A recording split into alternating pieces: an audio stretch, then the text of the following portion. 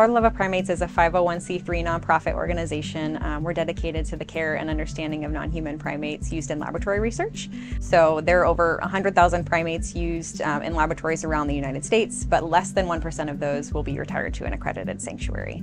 Um, the rest are facing euthanasia. Um, so with our operational mission is to establish an accredited sanctuary here in central Ohio. Um, so we just purchased a 109 acre property in Roseville, Ohio, which will be the site of our sanctuary.